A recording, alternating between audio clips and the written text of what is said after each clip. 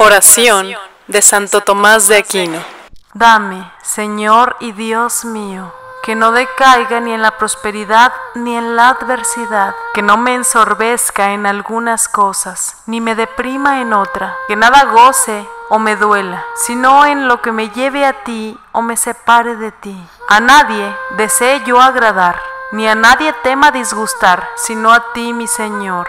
Sea para mí despreciable todo lo pasajero, y sea para mí querido todo lo tuyo, que me hastíe el gozo de lo que sea sin ti, que no desee nada que esté fuera de ti, que me deleite en el trabajo hecho por ti, mi Señor, que me sea penoso todo descanso que sea sin ti Concédeme, Señor, dirigir constantemente el corazón hacia ti y que en mis fallos sepa dolerme con el propósito de la enmienda. Hazme, Señor y Dios mío, obediente sin contradecir, pobre sin ser miserable, casto sin depravación, paciente sin murmuración, humilde sin ficción, alegre sin disolución, triste sin abatimiento, maduro sin pesadez ágil sin ligereza, temeroso sin desesperación, que sea sincero sin hipocresía, que haga el bien sin ser presuntuoso, que corrija al prójimo sin arrogancia, que lo edifique con la palabra y el ejemplo. Concédeme, Señor, un corazón vigilante,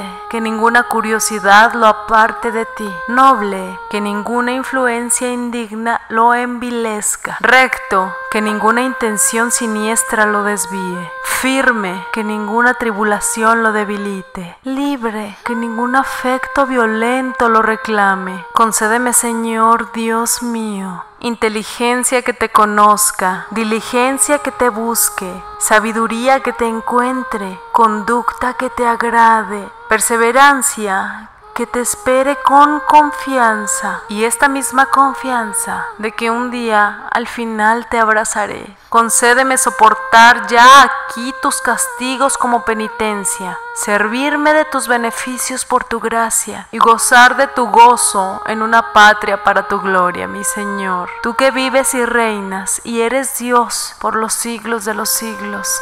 Amén.